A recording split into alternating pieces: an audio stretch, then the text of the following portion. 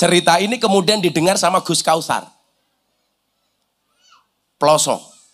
Saya diajak soan kepada abahnya Gus Kausar. Saya pikir saya mau dimarahi. Wah ini modar ya aku. Jawaban beliau apa coba?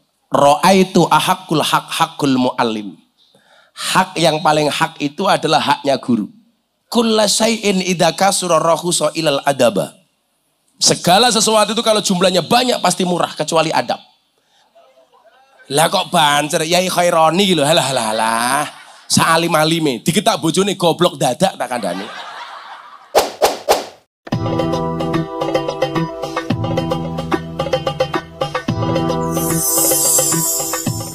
Assalamualaikum warahmatullahi wabarakatuh.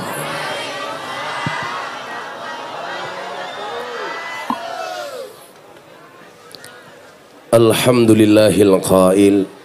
A'udzu billahi samil alimi minasyaitonir rajim.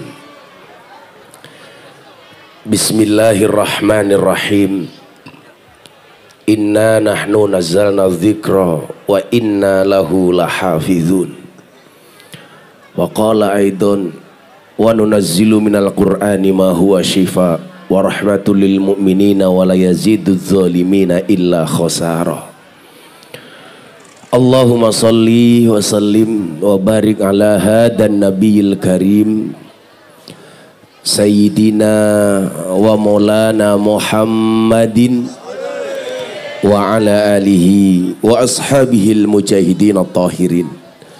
Rabbi li sadri wa yassir li amri wahlul 'uqdatam min lisani yafqahu qawli amma ba'du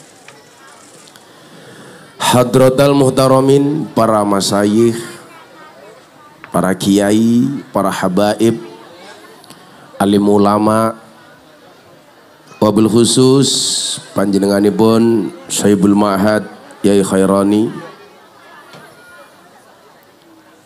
saha para keluarga lan duriyah ingkang estu kaula takzimi para pejabat yang berkenan hadir dalam semua tingkatannya yang saya hormati, segenap panitia penyelenggara haflah hatmil Quran, sekaligus Khaul Kiai Muhammad Gusti Ugi Nyai Hajah Sri Siti Solehah Pondok Pesantren Hidayatus Solihin Uringin Jajar Meranggen Demak apa bu? Kok cangkemmu cerewet?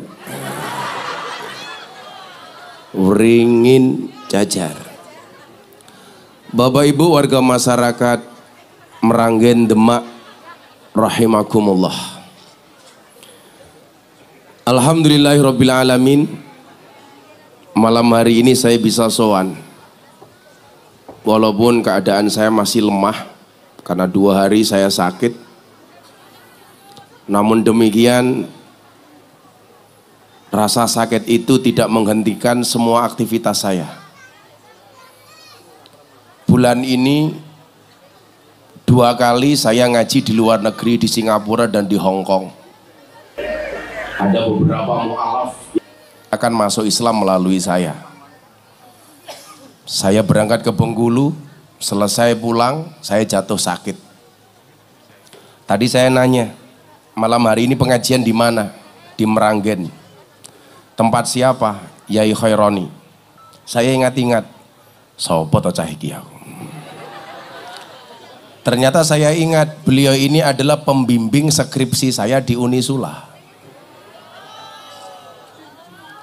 Maka saya selalu mengatakan minimal kalau toh saya soan dalam keadaan sakit itu satu-satunya alasan adalah karena saya mencintai guru saya minimal pembimbing skripsi saya.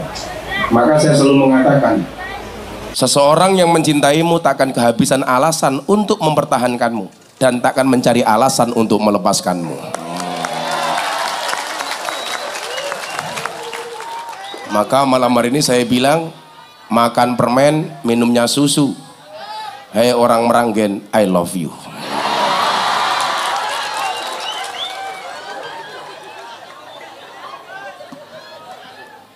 tapi bohong.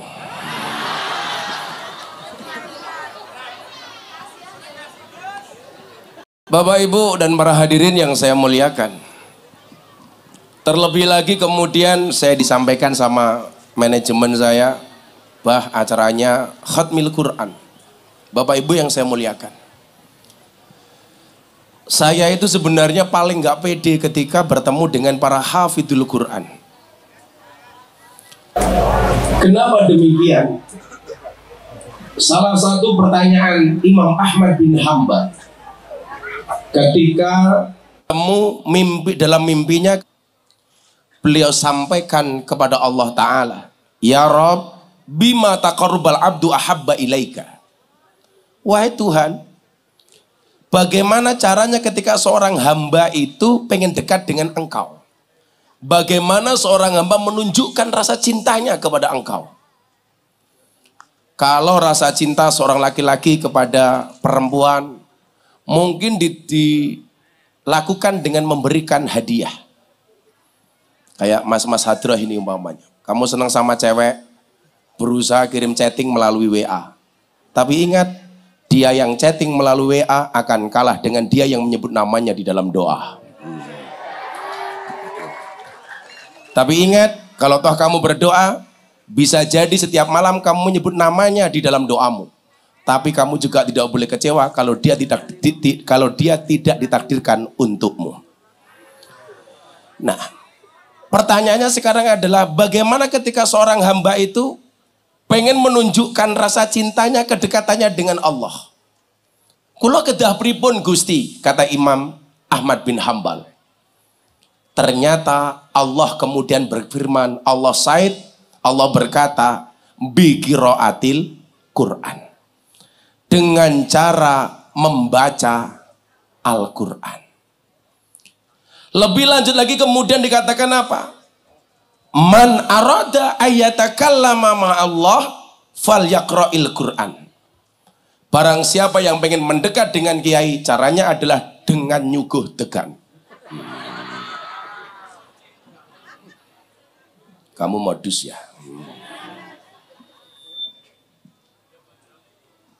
Kamu gondrong kok.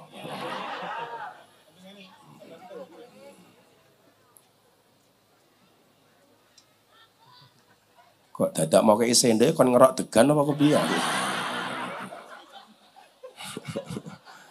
Pengajian malah kaya ning pantai.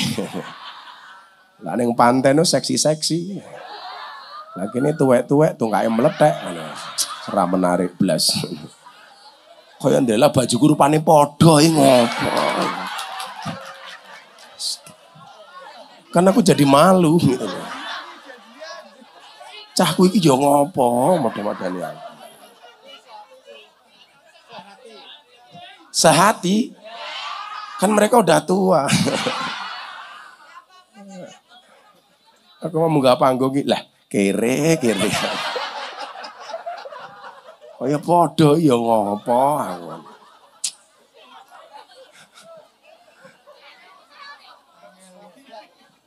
Untung yang pakai banyak. Coba kalau cuma satu, kan dikira suami istri ya. Tapi orang nggak percaya lah. Masa istri saya gemuk? Lemu-lemu kayak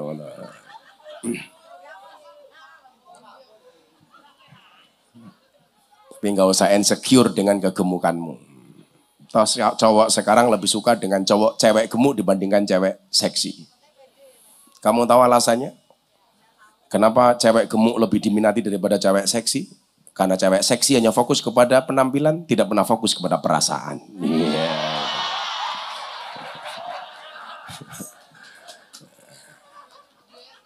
Lagian kalau kamu dibilang, dasar kamu gemuk, santai saja mbak sorry saya gemuk karena makan nasi bukan makan hati. Iya. Gawe ayam mau ngelemu le. Padahal asini ya.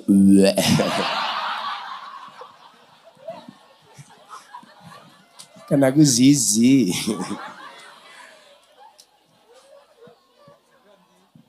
Nah Bapak Ibu yang saya muliakan. Maka kemudian disampaikan. Man aroda ayatakallama ma'allah fal yaqra'il Qur'an. Barang siapa yang menghendaki takallum berbicara langsung telepon langsung, chatting langsung dengan Allah, caranya adalah fal yaqra'il Qur'an. Maka bacalah Al-Qur'an. Disebutkan dalam riwayat lain, akrimu ahlallah fi dunya. Muliakanlah keluarga Allah yang ada di dunia. Ini kalau perintah ini dipahami oleh orang yang tidak ngerti ilmu tafsir, tidak tahu asbabun nuzul dan asbabul wurud, pasti berbahaya. Kok Allah punya keluarga? Ternyata ini adalah cara bagaimana Allah memuliakan kepada hambanya yang sang hamba ini hafal dengan apa yang menjadi kalam-kalamnya Allah atau hafidhul Quran. Maka kemudian dijawab, Kila halillahi ahli fil ard. Apakah bagi Allah itu punya keluarga di muka bumi ini? Kemudian jawabannya adalah ahlullahumul ladina yaqra'ul Quran. Keluarganya Allah di muka bumi ini adalah orang-orang yang senantiasa membaca Al-Quran. Terkhusus orang yang menghafal Al-Quran. Maka ibu, inti dari pengajian khutmul Quran itu sebenarnya apa? Bagi kita yang anaknya belum bisa ngaji, apalagi belum hafal Quran. Ini menjadi spirit, menjadi semangat. Saya nggak perlu ngomong besok apal Quran ini akan memberikan mahkota kepada bapak ibunya. Akan memberikan syafaat kepada sekian banyak keluarganya. Anda pasti sudah tahu. Yang menjadi problem itu Pak Mukhtar Ngapunten ya. Kadang-kadang begini. Orang hafal Quran tetapi di dunia ma'isyahnya ini pas-pasan, bahkan cenderung kurang. Ini menjadi problem apal Quran tapi uripe ra kepenak. Apal Quran uripe kurang. Sehingga kemudian apa pandangan orang awam kepada orang yang hafal Quran ini menyepelekan adalah geopo apal Quran. Mangane kangelan. Padahal mohon maaf, tolok ukur di dunia itu orang akan dilihat dari maisyahnya. Saya sendiri selalu berpendapat bahwa urusan dunia itu harus idhar, bukan ikhfa. Coba dibaca nih. Robbana atina. Pertanyaan saya, cara membacanya fit dunya. Idhar atau ikhfa? Fit dunya. Idhar apa ikhfa? Idhar. Urusan dunia itu harus jelas. Fit dunya. Membacanya secara idhar. Urusan dunia itu jangan remeng-remeng. Artinya apa? Lak nyileh yo nyileh, utang yo utang, menei yo menei. Bayar yo bayar. Kita kan kadang-kadang leda-ledi. Jualan es teh, sing ngombe kancane dewi. Antara nagih kon bayar karo pekewuh. Gini apa mboten? Ini kan bedanya tipis. Kon bayar kok kancane dewe, orang bayar aku ki bakul. Gayane pun mboten usah, mboten usah. Koncone minggat padu karo bojone. Wonge ya tekoi. Ya melu guyu gitu loh. Biasanya jilbabnya kuning.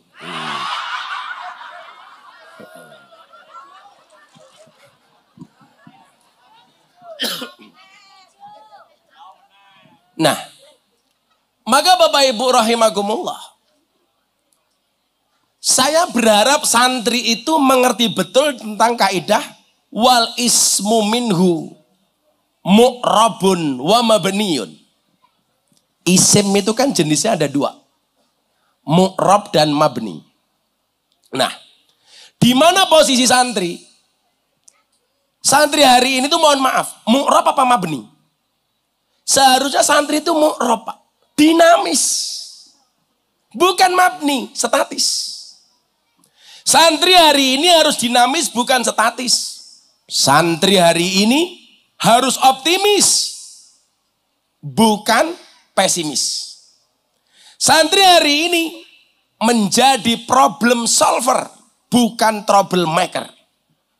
Santri hari ini harus menjadi imam, tidak hanya sekedar menjadi makmum.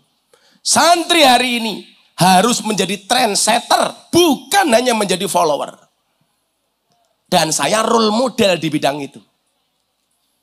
Anak muda, muda NU sekarang yang menjadi role model orang-orang kayak kita. Saya mampu mendobrak satu hal yang dianggap tabu.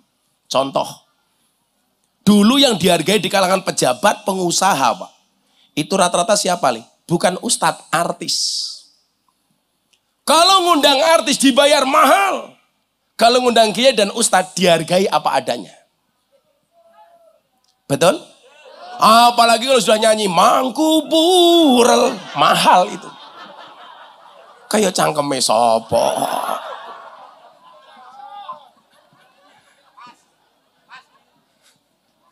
Nah, saya ngomong ini, mergo kula awake kira penak mong denak klinik mawon. Kadang-kadang kita tuh nggak fair, Pak. Menghargai mereka yang tafakuh fitin. Saya pengen membuktikan kaidah bahwa mayuridillah bi khairan yufaqihu fitin.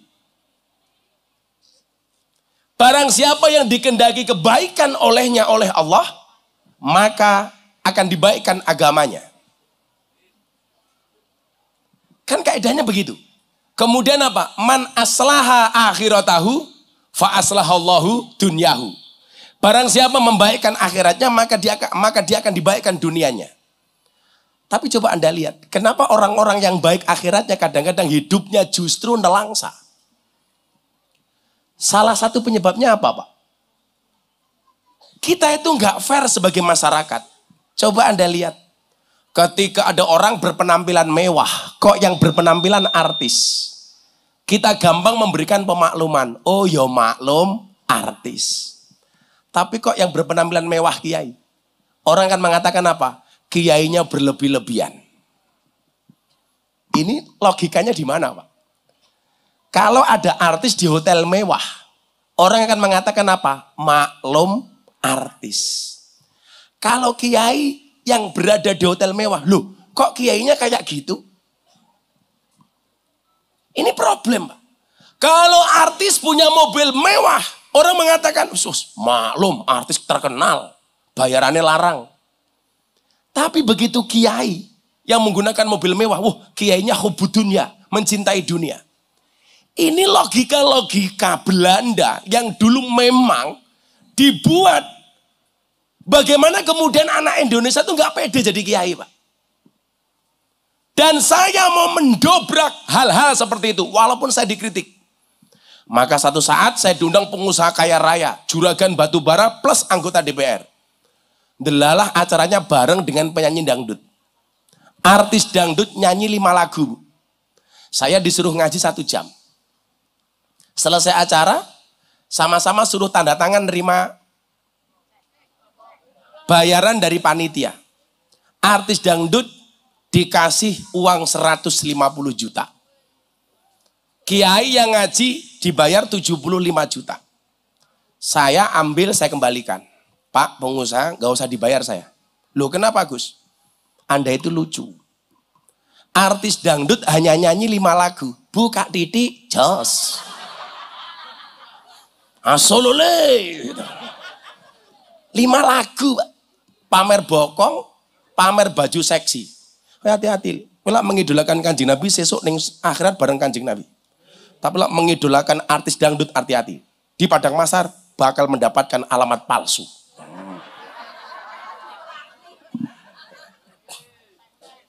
Paling paling mau mangku pural. Yuk lah pural ayu, lah tua-tua ini ki.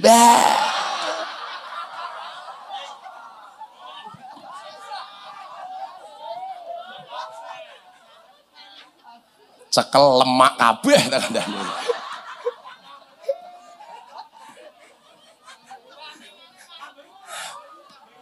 Kanda jadi bantingannya marem. Wes salah. Salah satu hikmah cewek gemuk itu supaya tidak mudah dibanting. Malah banting ho. Saya bilang, Anda itu lucu Pak pengusaha. Lah pripun Gus? Artis dangdut Anda undang, hanya nyanyi lima lagu. Yang value yang didapatkan masyarakat bisa kita perdebatkan. Anda hargai mahal. Sementara kiai yang Anda undang entah sebagai pencitraan atau membangun akhlak dan moralitas, Anda hargai lebih murah dibandingkan penyanyi dangdut, artis dangdut. Saya bilang, Bu, kalau begini caranya, selamanya anak Indonesia hanya akan bercita-cita menjadi artis dangdut, tidak ada yang mau menjadi kiai. Kenapa? Karena merasa santri itu gak ada harganya. Ah, ngundang kayak gitu, ini pura-pura ikhlas. Pejabat ngundang saya itu punya kepentingan, Bu. Kepentingannya apa? Uh, bisa menghadirkan Gus Miftah. Jamaahnya banyak. Sementara ngundang artis hanya untuk oh ya, oh ya. Celakanya di mana? Kiai diundang, suruh datang dengan penuh keikhlasan. Sementara pejabat punya kepentingan. Bajingan rah, ayo gue.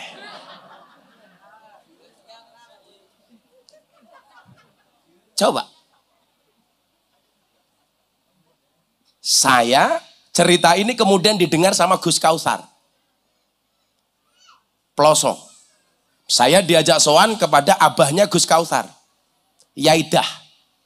Kiai Sepuh Ploso hari ini. Adiknya Yaidin almarhum. Kemudian Yaidin ini sangat sayang sama saya. Saya diajak soan. Saya pikir saya mau dimarahi. Wah ini modar ya aku.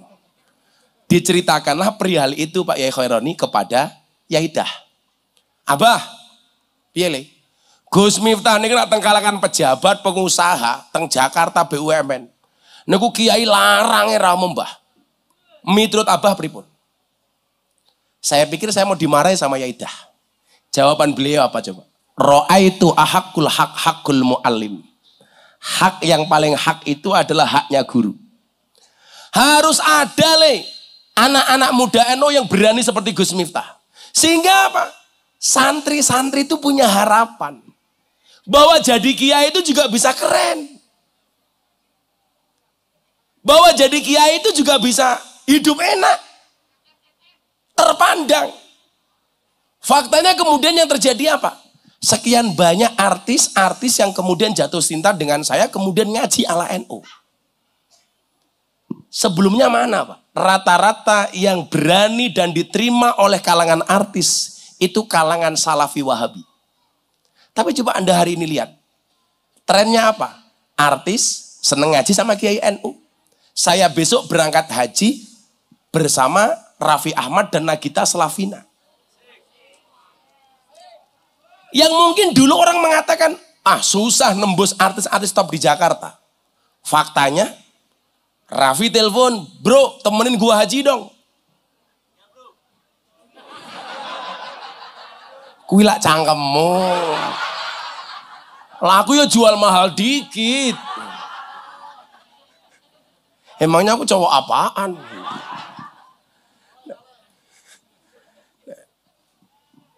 Sehingga kemudian apa?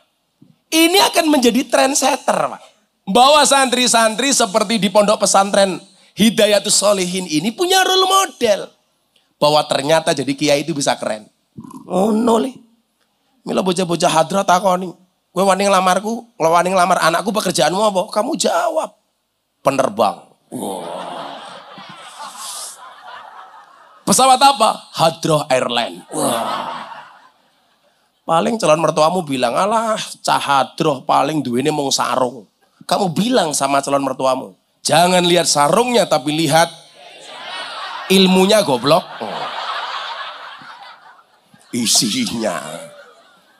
Lah isinya ini ya cilik paling.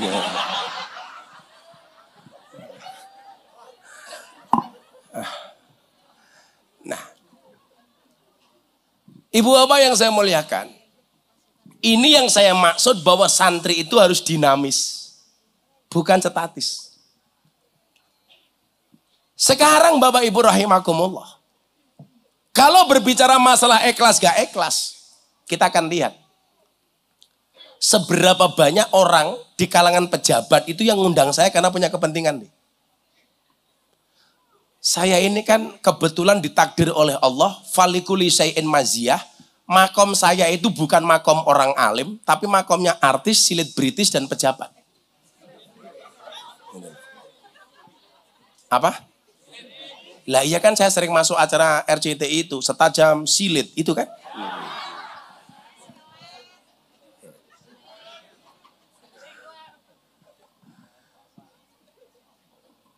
Jadi mu'rob itu berarti dinamis. Bahkan berani ngambil resiko, Pak. Artinya begini, para santri ya. Anggaplah saya ngandani para santri dirungokke karo wong tuane gitu. Supaya wong tua juga bangga punya anak santri gitu loh. Betul, Bu? Ya. Adik-adik yang khotimat khotimin itu. Wow, kamu semangat, Dok. Sambil lihat Gus Miftah sambil berdoa, khotimat itu. Ya Allah, anugerah karena saya suami seperti dia ya Allah.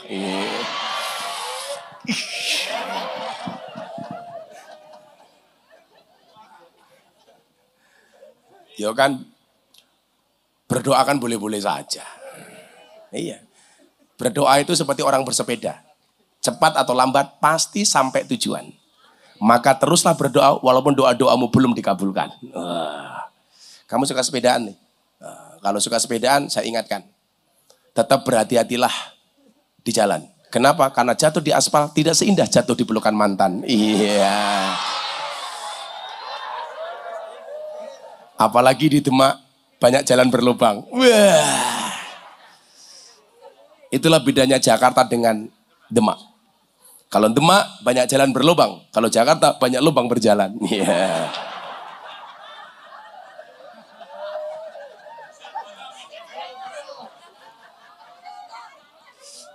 Kamu tahu bedanya mobil baru sama pengantin baru? bedanya kan satu. Mobil baru ada lubang dihindari. Pengantin baru, ada lubang. Itulah yang dicari. Iya, kayak gitu.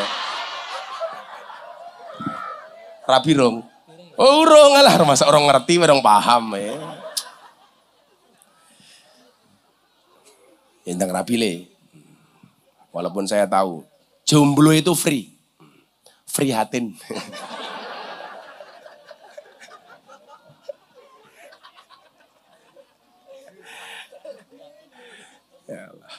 Sakit.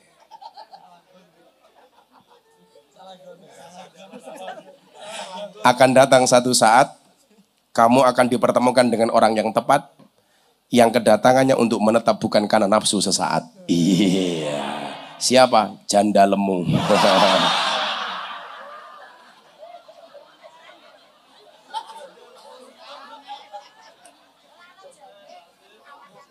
Oh, perawan kupingmu kuwi perawan. Biyen. Perawan. Tak wis tahun nom ya, Bu ya. Kalau kuat Gus Miftah tentang pernikahan itu apa, nih? Menikahi orang yang kamu cintai itu pilihan. Tapi mencintai orang yang kamu nikahi adalah kewajiban. Maka sebelum menikah bukalah matamu lebar-lebar, setelah menikah tutuplah matamu rapat-rapat.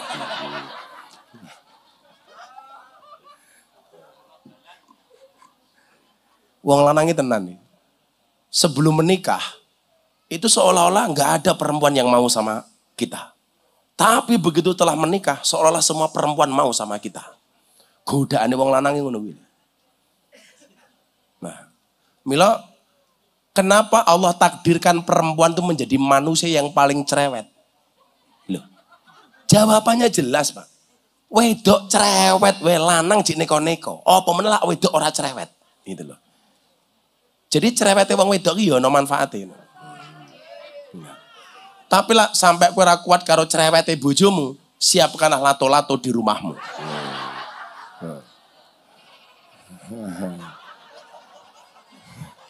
Walaupun secara alami kamu sudah punya lato-lato. Ya. Nah kayak banser nih gile, weteng mau gede. Wong lanang gila wetengnya gede biasanya lato-latonya cile. Aja gede-gede, oh kayak gede banget. Kang Wahid deh. Paling lato-latonya kisut.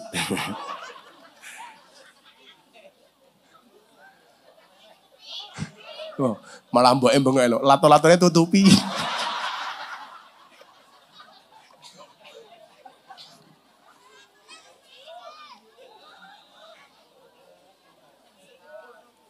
Insyaallah. Sallu ala Nabi Muhammad. Apa bedanya santri yang dinamis sama yang statis?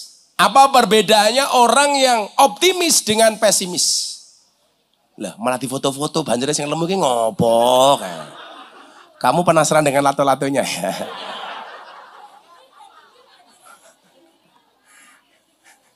Malah di foto setengah badan yang bawah ya.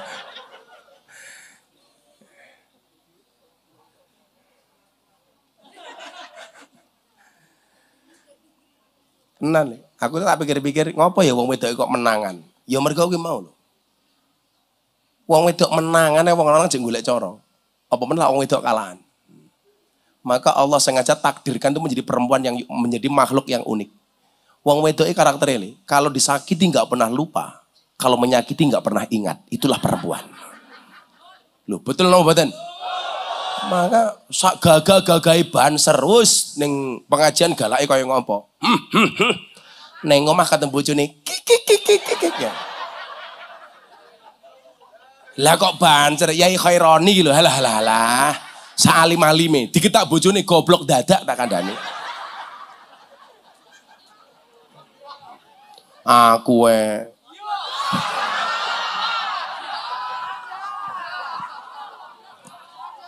Siapa yang bilang podo kok piye? Luwih parah.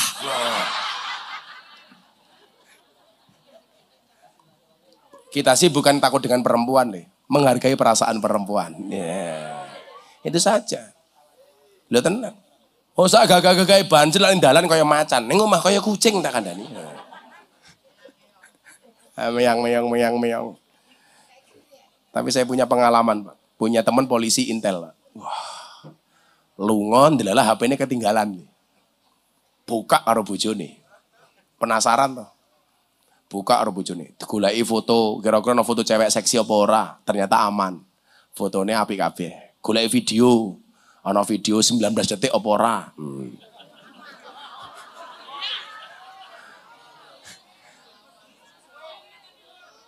Hati-hati.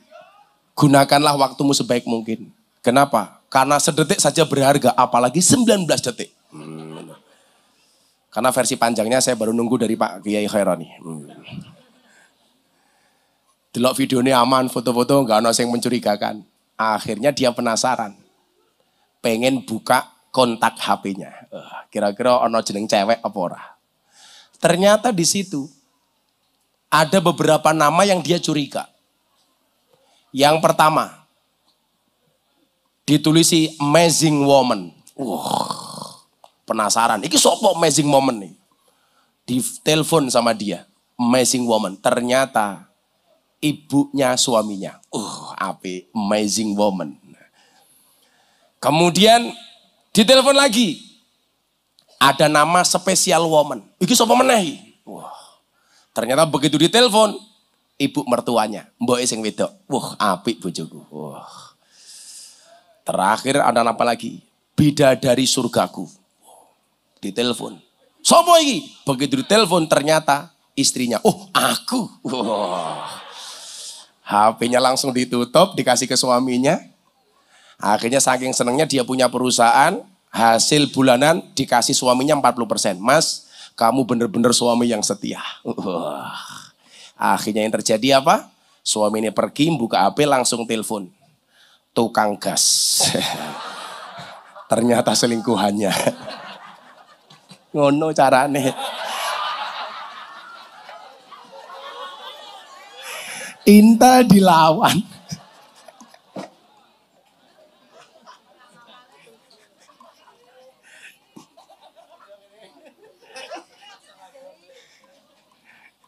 Eh saya Pak Yai. Saya ke Belanda sama teman saya super kaya lah. Gus, saya mau ke toilet dulu. Tolong HP saya dipegang. Oh siap. Begitu dia masuk toilet, HP-nya bunyi incoming call. Security. Wow, saya embatin. Mosok kelasnya satpam berani nelpon majikan. Gitu kan. Dia keluar dari WC, saya tanya. Bro, ada telepon. Siapa Gus security? Oh satpam. Begitu jalan saya bilang, saya nggak percaya itu satpam. Mana mungkin satpam berani telepon majikan? Dia jawab, sopo wih? Bojoku Gus. Jadi dalam kontaknya ditulis security, bajingan tuh. Wong lanang kurang ajar kali. Begitu baru menikah, wah, beda dari surgaku. Wah. Lima tahun menikah, istriku. Sepuluh tahun, security. Lima belas tahun, mak lampir. Rong puluh tahun, Israel tak kandani.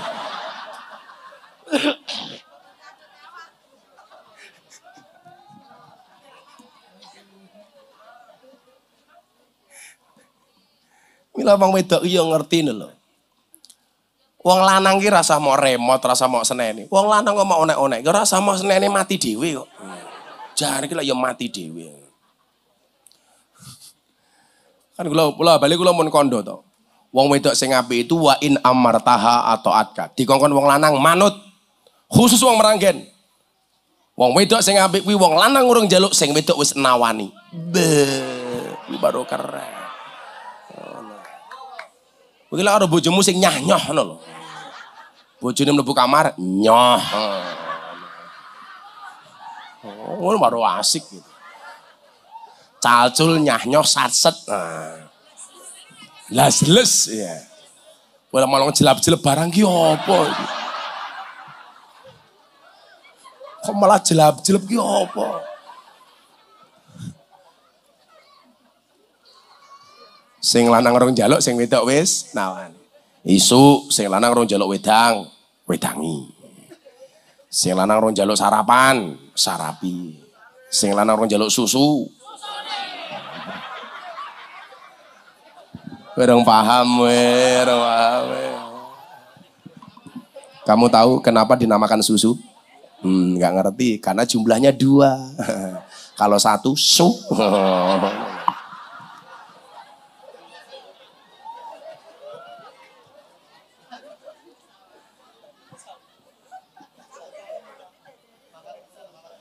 Ada satu tokoh wayang yang seumur hidupnya dia tidak pernah minum susu ibunya.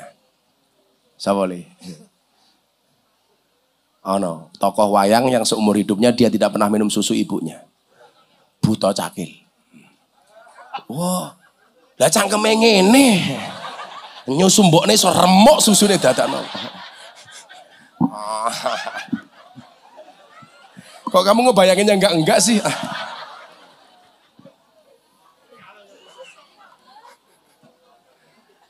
Allah. Jenengmu siapa leh? Oh Irsyad. Apa men jenengmu? Iya, dadi wong ngerasa ganteng-ganteng. Teori ini gila, wong lanang ganteng biasanya bojone elek. Loh, contohnya anak Nabi Adam kan kawin silang.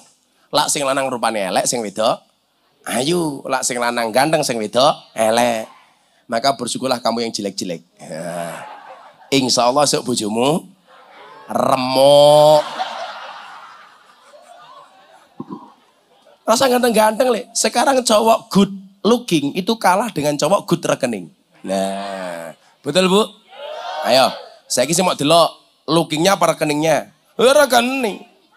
Cowok jangan bilang oh, berarti cewek matre. Enggak ada istilah cewek matre. Yang ada cowok kere.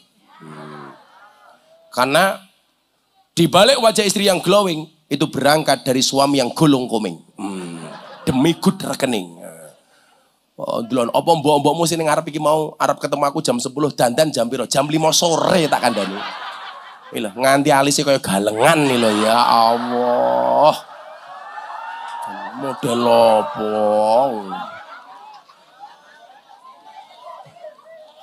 Aku kadang-kadang batin aku jenenge rayu papan karambol. Padha-padha udah kebak. Kebak wedak lho. Lelak sing tua-tua ini murah lele, paling udah FIFA nomor papat. Lah kaya sing mbak-mbake berkhataman kayak bes larang. Padiake. Pak Yai Khoren, kita itu bisa membuktikan perempuan itu susah diatur oleh suami. Cukup gari alisnya saja. Itu dalil yang membuktikan laki-laki tidak bisa ngatur istri. Lah kepiye lho, jangankan awake dhewe ngatur bojo. Aturane Gusti Allah wae dirubah dikerok, entek, dilukis dewe. Ah, goblok banget aku. Apa rumangsane lukisanmu ki luwih apik tinimbang lukisane Gusti Allah to yuyu. Rungokno kupingmu. Kok geting aku.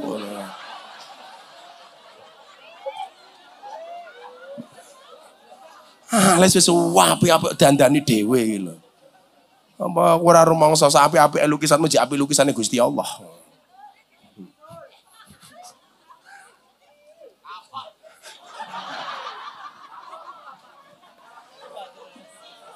Mbok delok penampilannya Irsat iki jujur. Be polos, paling peci siji, baju siji, sarung siji. Malah mungkin nggak sempakan cah iki. Delok sat, delok sat. Hmm.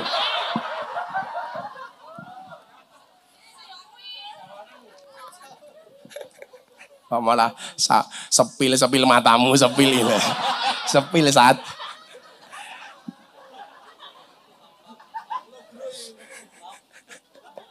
Kayak santri gue lagi lucu meneh. Bocah cuwilik ini gila. Cah cilik kayak anak Pak Kiai iki. Gosop sempake kancane bocah lemu. Lah goblok banget tuh. Lah mangkat sholat dinggo, pas sholat melotrok. Lah gosop kok sempak iki lho. Iki kepiye ta aku? Lah gosop sandal iki nalar lah. Gosop sarung nalar, gosop sempak.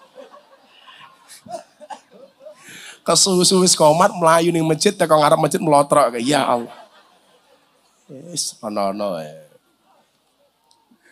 Apa bedanya santri optimis dengan pesimis? Yang tadi saya bilang wal ismu minhu mu'rabun wa mabniun. Bu, saniki ngaten, kalau enak contoh. Iki apa tadi? Kopi. Gede nih ya Allah. Sak gentonge makam Sunan Kalijogo ini.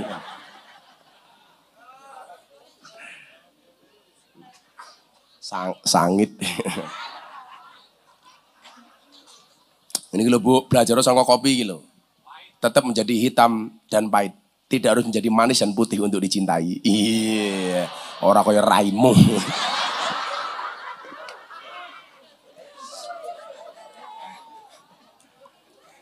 Bagaimanapun yang hitam itu lebih menyenangkan dibandingkan yang putih.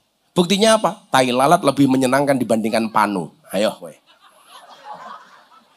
Weh pilih raimu ono tai lalat apa kebak panu? Ayo, weh. Eh menang hitam.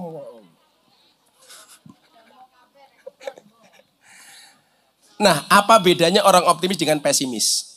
Kalau seandainya cangkir ini isinya separuh, biasanya yang keluar kalimat yang keluar dari mulut kita ini nopo? Masih separuh apa tinggal separuh? Biasanya apa boleh? Tinggal separuh. Ada yang jawab tinggal separuh, ada yang jawab masih separuh. Itu kalimat sederhana. Tapi bisa menjawab apakah kita termasuk orang yang optimis atau pesimis. Bagi orang yang mengatakan masih separuh, itu adalah orang optimis. Kenapa? Karena yang dilihat itu isinya bukan kurangnya. Tapi bagi orang yang mengatakan tinggal separuh, dia pesimis, Pak. Nah, ternyata manusia itu lebih banyak yang pesimis dibandingkan yang optimis. Maka segala sesuatu yang dilihat itu biasanya kurangnya, bukan lebihnya. Contoh, kenapa perempuan kok reko-reko nyuntik irung pesek menjadi mancung dengan cara disontek dengan menggunakan solikin? Eh, apa kayak? Sili, lah ya silikon yang nyontek namanya dokter solikin.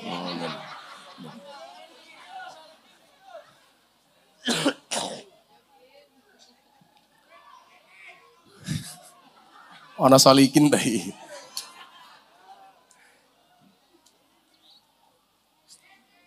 Karena yang dilihat itu fungsinya yang kurang, bentuknya yang kurang. Bukan melihat fungsinya.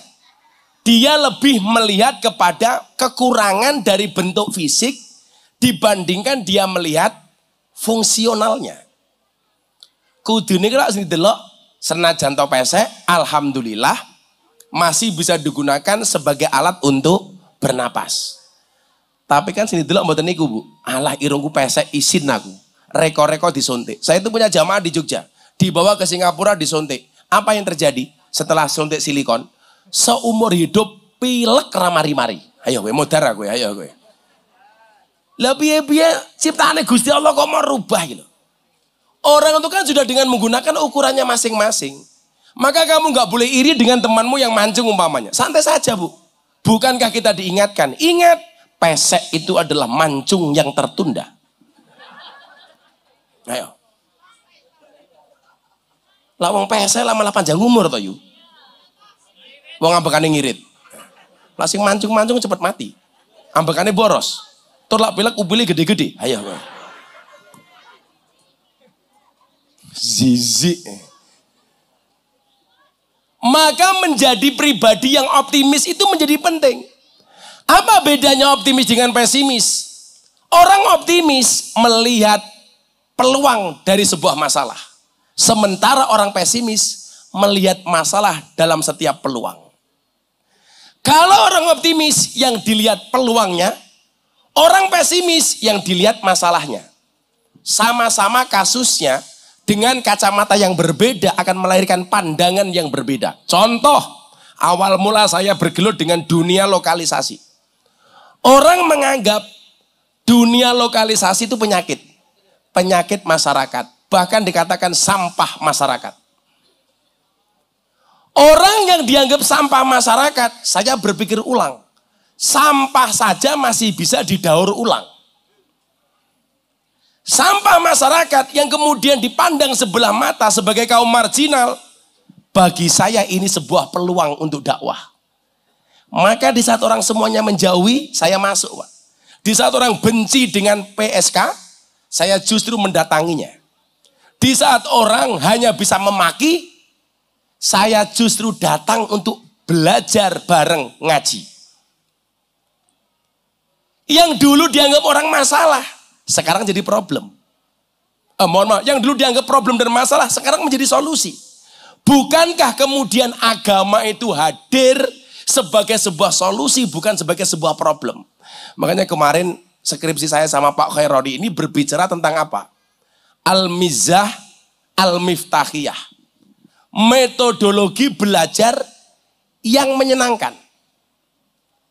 Bahwa agama itu asik, Bu. Bukan sebagai problem tapi sebagai solusi. Itu yang kemudian menjadi pertanyaan seorang bule cantik dari Australia yang mendatangi saya di Pantai Kute. Saya punya adara di Polda Bali. Selesai saya ke Pantai Kute lah. Senormalnya wong neng Bali pengen jalan-jalan. Ternyata di situ banyak sumur, susu dijemur. Saya lagi duduk menikmati air kelapa muda. Ini mbaknya datang pakai sempak, pakai kotang tok. Uh, langsung saya batin, dek dek dek dek dek dek. Untungnya saya pakai kacamata hitam. Sehingga mata saya mendelik tidak kelihatan. Begitu dia datang dia mengatakan, Excuse me, are you Gus Miftah? Ternyata dia tahu saya, ternyata dia follower saya dari Australia. Asik, gitu kan. Sorry, aku terkenal Irsad, sorry, sorry. Follow, follow biro? Telu, followernya telu. Bapak mboknya Adine.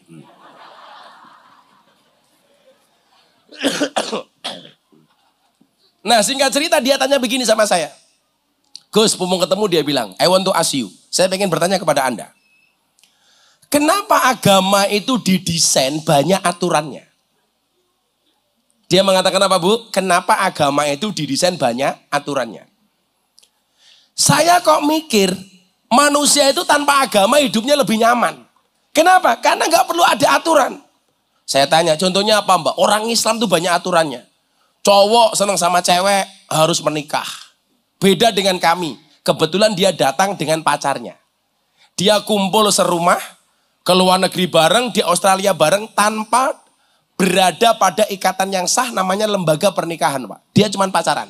Kalau istilah orang meranggen barangkali kumpul kebo.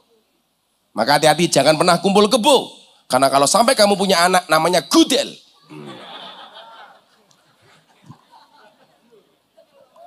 Le, Gus, kalau kamu tak kasih uang ditabung, ditabung apa dicelengi? Ditabung, jangan dicelengi. Kenapa saya lebih sepakat ditabung? Karena ada bayi tabung, nggak ada bayi celeng. Nah, nah.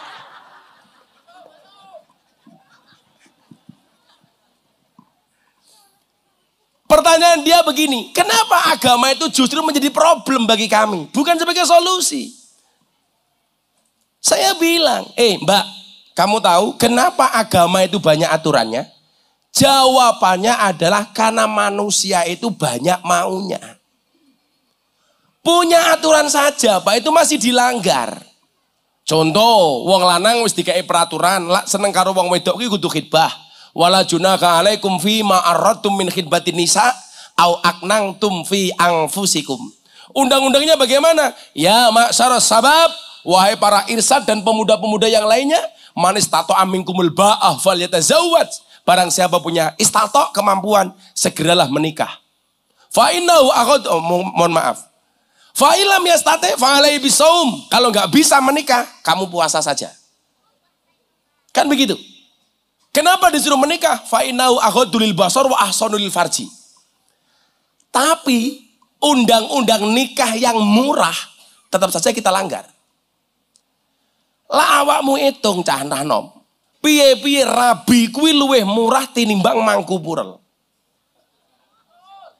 Neng nyatane banyak orang tertarik mangku purel dibandingkan menikah. Bahkan sudah menikah tetap mangku purel.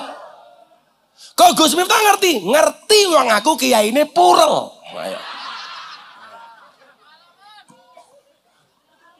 Tidak hanya pengalaman, le, praktisi. Makanya saya bisa macangkem. Saya kira cupu, ternyata suhu bosok kayak. Saya bukan suhu, kepala suku. Loh, kan saya punya prinsip, Bu. Kulla syai'in idza kasura ilal adaba.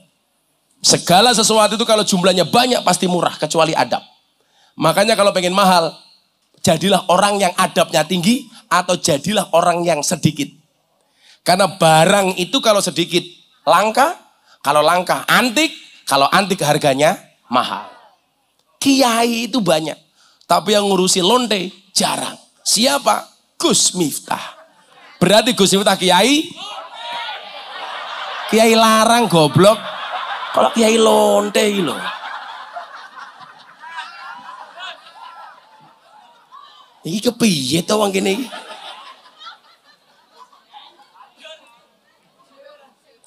Irisan malah jawab modaro, modaro no.